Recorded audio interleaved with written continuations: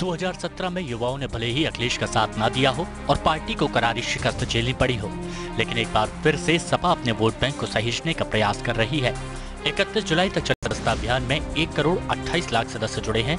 इनमें पैंसठ फ़ीसदी से ज़्यादा युवाओं की संख्या है।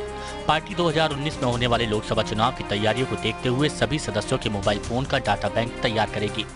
बूथ लेवल तक वो वर्कर्स का ब्यौरा पार्टी ऑफ़िस के आईटी सेल में हर वक्त तैयार मिलेगा। माना जा रहा है कि पार्टी खोए हुए जनाधार को वापस पाने के लिए यूथ एजेंडे पर काम कर रही है।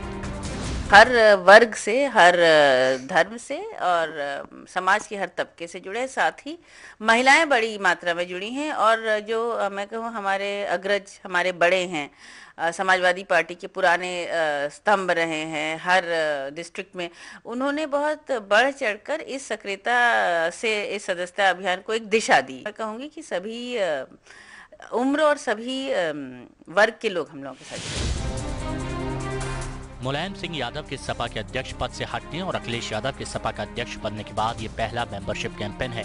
बताया जा रहा है कि इस कैंपेन के साथ अखिलेश यादव पार्टी पर न सिर्फ़ अपनी पकड़ मज़बूत करने जा रहे हैं, बल्कि उसका कलेवर भी बदल देंगे। पार्टी के मेंबरशिप कैंपेन में 11 लाख से ज़्यादा युवाओं ने ऑनलाइन प्राथमिकी सदस्यता ली है। ये पहली बार है जब इतनी बड़ी संख्या में युवाओं ने ऑनलाइन मेंबरशिप ली है। लेकिन बावजूद बीजेपी का मानना है कि अब युवाओं का समाजवादी पार्टी से मुँह बंद हो चुका है, लिहाजा सदस्यता अभियान से कुछ नहीं होने वाला। अब क्या कारण है? अगर मंत्री हैं तो अधिकारी से इस तरह का टकराव भी कहीं से उचित नहीं है। उनको ये भी स्पष्ट करना चाहिए कि कौन सी ऐसी चीज़ है जिसको डीएम नहीं मानता है? अगर सही काम हो तो हमें लगता है कि डीएम हो या कोई भी अधिकारी हो, निश्चित तौर पर मानेगा, खासतौर से अगर मंत्री की बात है।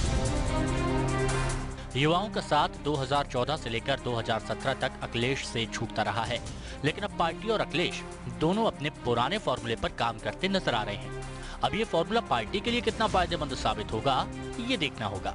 अनामिका सिंह के साथ ब्यूरो रिपोर्ट एपीएन लखनऊ।